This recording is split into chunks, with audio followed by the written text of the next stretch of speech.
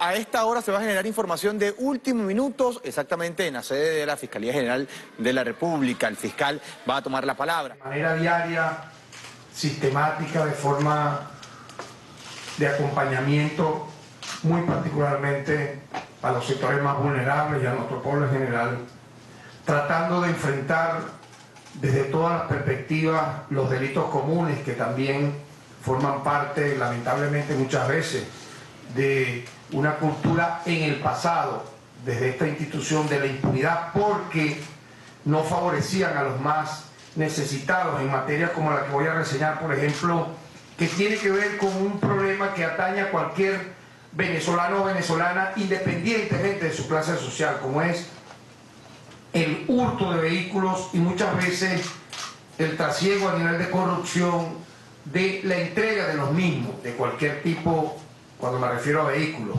motos, carros, camionetas, etc. Por lo tanto, hemos decidido enfrentar de manera muy clara este flagelo para romper ese círculo de impunidad que ha habido en esa materia. Y quiero detallar muy brevemente los alcances que en este sentido hemos logrado. Particularmente, repito, contra el robo, y hurto de vehículos, así como en la agilización de entregas de vehículos recuperados para evitar demoras indebidas, daños a los propios vehículos y prácticas como el cobro de dinero para garantizar la entrega. Un hecho gravísimo que hizo sumamente eh, mucho daño a la comunidad en general. En este sentido, quiero adelantar que nosotros hemos abierto a partir de nuestra gestión de un año y, ocho meses aproximadamente 11.065 investigaciones en lo que respecta, repito, a delitos de hurto y robo de vehículos automotores, cifra que implica una disminución, óigase bien, una disminución del 50% del índice delictivo con relación al año 2018. En este sentido, podemos decir que es un logro del Ministerio Público como de los organismos policiales, de la Policía Científica y del sistema de justicia, quienes mancomunadamente hemos trabajado para desarticular bandas y mejorar la persecución de este delito que, como he dicho, golpea a cualquier venezolano de cualquier clase social de forma indistinta. En este sentido, nosotros dijimos cuando tomamos posesión de este cargo, el 5 de agosto del año 2017, que entre el mes de agosto del año 2017 hasta junio de este año, es decir, durante estos 23 meses, se han recuperado, óigase bien, un total de 12.800 12.609 vehículos recuperados en un lapso de 23 meses. Se han entregado 23.455, 23.455 vehículos entregados a sus dueños.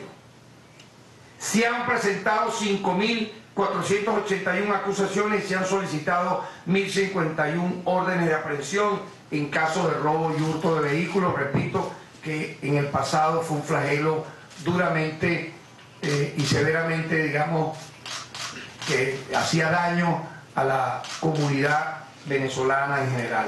Hemos elaborado un plan de agilización de entregas que ha tenido, obviamente, además de la eh, disminución de la incidencia delictiva, hemos querido informar que a partir de la segunda quincena de junio iniciamos un plan de agilización de entrega de vehículos a nivel nacional, en conjunto con 91 fiscalías especializadas en manera de hurto y robo de vehículos. Aquí no puede haber el nudo de la corrupción. Muchísimas veces en el pasado fiscales tomaban este tipo de daño al patrimonio de cualquier ciudadano, a la familia venezolana, para cometer actos de extorsión, de corrupción. Te entrego el vehículo si me da dos mil dólares te entrego el vehículo si me das 3 mil dólares, te entrego el vehículo si me cambia, digamos, la entrega por un bien material.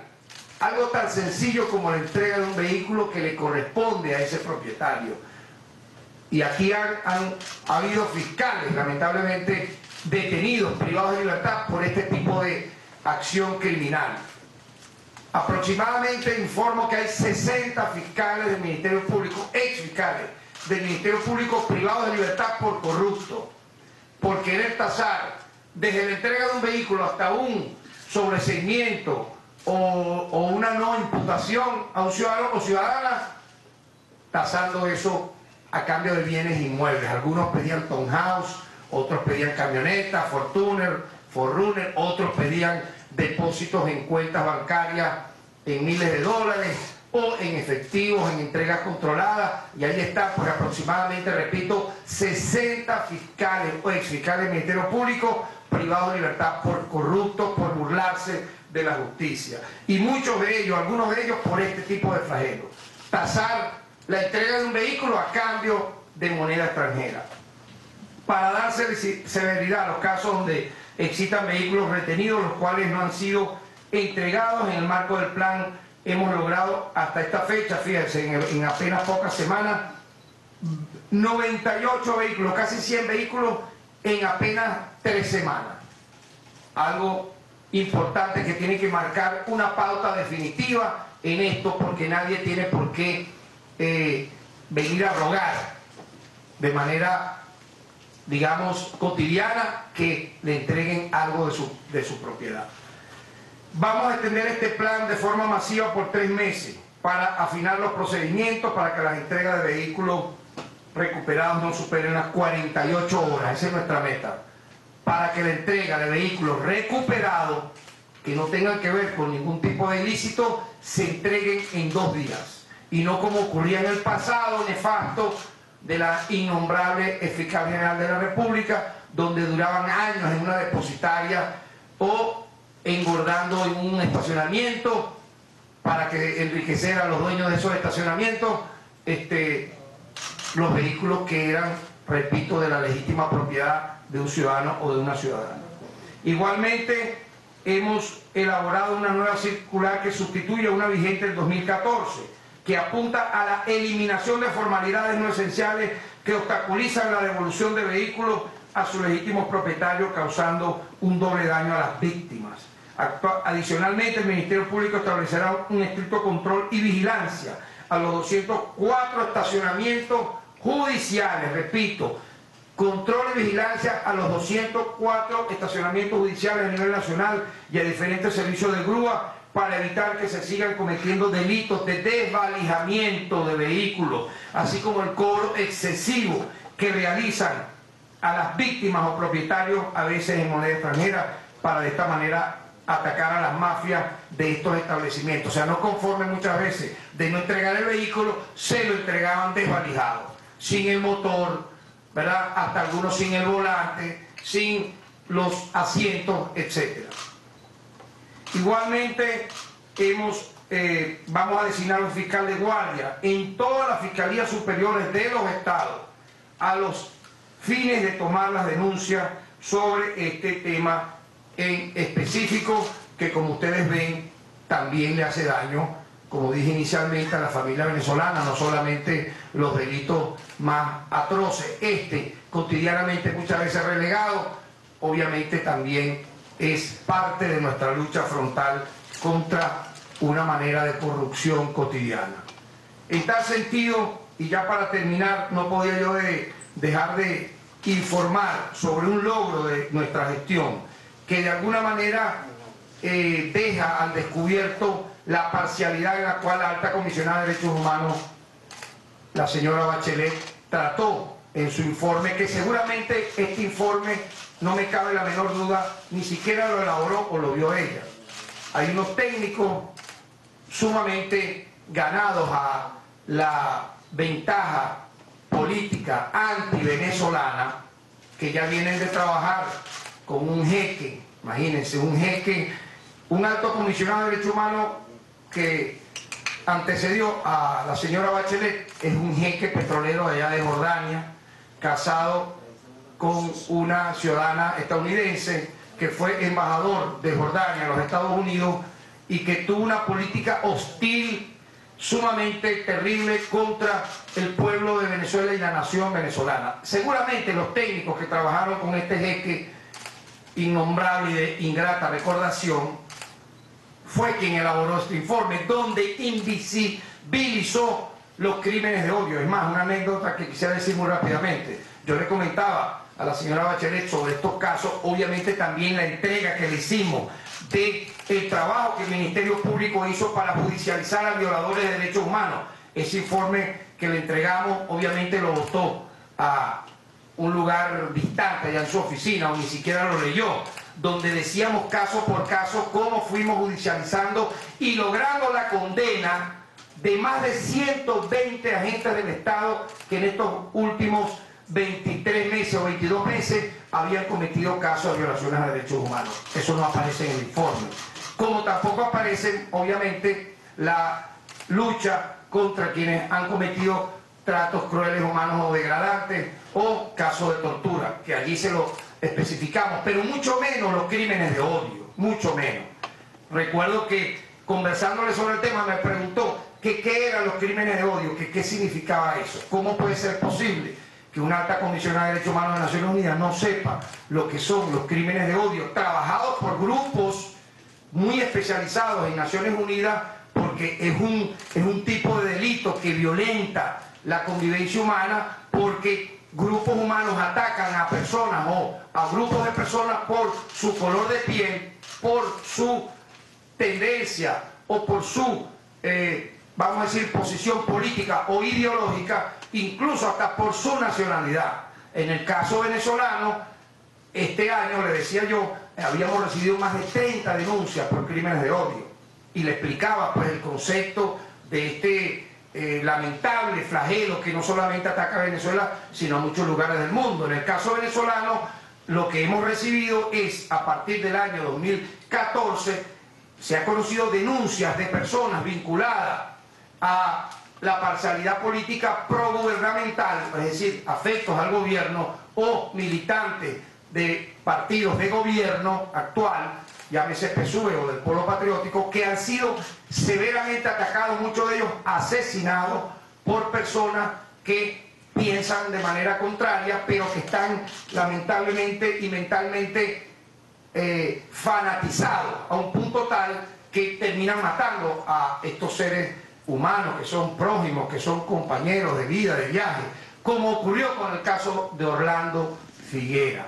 Y aquí la noticia que quiero ratificar, que ya la habíamos eh, comunicado, difundido por redes sociales el día en que logramos nosotros, a través de una solicitud hecha a Interpol, sabiendo que ya el asesino de Orlando Figuera, o uno de los principales culpables de haberlo quemado vivo, se encontraba en Europa, concretamente en España. Nosotros allí, el 10 de julio, gracias a las acciones, repito, del Ministerio Público, logramos que Interpol en España detuviera a Enzo Franchini Oliveros, uno de los que participó de manera directa en el homicidio abominable de Orlando Figuera. Obviamente en el informe Bachelet no apareció ninguno de estos casos. No son venezolanos, no son seres humanos quienes han sido muertos de esta forma, ¿verdad? Y eso obviamente permite que la impunidad a nivel de la visibilización de este tipo de acciones aberrantes. Sin embargo, habrá justicia. Recordamos que el caso Orlando Figuera es uno de los casos más emblemáticos a escala global, a escala mundial de los llamados crímenes de odio, pues fue quemado vivo, previamente golpeado y apuñaleado por un grupo de violentos que supuestamente manifestaban contra el Estado en la Plaza Francia de Altamira, hecho ocurrido el 20 de mayo del año 2017 y debo recordar que la innombrable fiscal que mala época ocupó estos espacios dijo sobre ese crimen, recordemos las declaraciones, que él no había muerto por ser chavista, sino porque era un choro. Es decir, dando a entender que, bueno, entre comillas, en caso de haber cometido algún delito, un hurto, etcétera, merecía ser muerto. Recordemos esa lamentable declaración que no arrojó ningún tipo de investigación, ni detenidos, ni absolutamente nada. Solamente permitió ¿verdad? Como mucha gente que violó derechos humanos, que mató gente en las guarimbas del año 2014, pero también las del 2017, abril, mayo, junio, julio, escaparan de Venezuela, como ocurrió con este Orlando, este señor Enzo Franchini Oliveros, asesino de Orlando Figuera. Entonces, a este ciudadano nosotros lo judicializamos, a este asesino, y le imputamos los delitos de instigación pública, homicidio intencional calificado y terrorismo.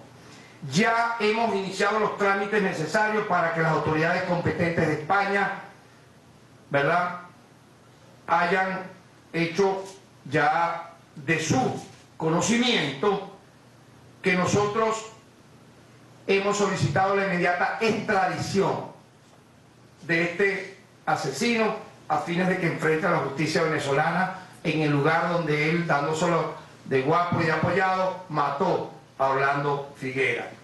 Durante nuestra gestión, nosotros vamos a seguir una lucha institucional y democrática por la defensa y protección de los derechos humanos, no discriminando este tipo de cosas.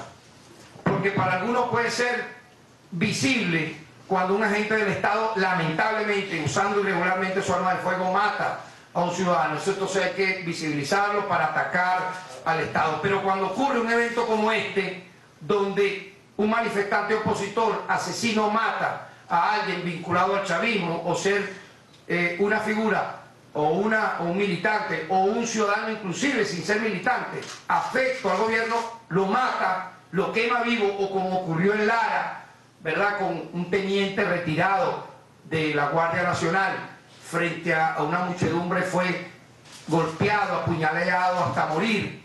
Otros casos similares de heridos mortales en lecherías estaban suaves y así sucesivamente en las guarimbas pasadas del año 2017 que tuvieron el repudio nacional y en el caso actual de este año 30 denuncias recibidas de personas heridas mortalmente por este tipo de fanáticos. No puede ser. Nosotros damos un paso adelante en pro del diálogo, de la convivencia, de la buscar la, política, hacer política por la vía pacífica, por la vía electoral, del debate programático y no de esta manera, de matar a un ser humano porque piensa diferente a usted y porque usted no tiene el, vamos a decir, el verbo de convencerlo o, de debatir con él, entonces prefiere asesinarlo. Y más si es humilde, más si es una persona, eh, vamos a decir, vulnerable, le es más fácil hacerlo. Eso es un acto de total cobardía que merece repudio nuestro como titular de la acción penal. Quería pues detallar muy brevemente este hecho, que es muy importante y que vamos a estar muy atentos de que España entregue a este asesino para que de una vez por todas este tipo de flagelos se acaben. Así como en otros países hay terroristas este, viviendo cómodamente que han atentado contra el Estado venezolano, unos en Colombia, otros en los Estados Unidos. Se habla de derechos humanos, pero ¿cómo es posible que corruptos y asesinos vivan en estas naciones de manera plácida? Así que bueno, adelante todos ustedes y muchas gracias por toda su atención.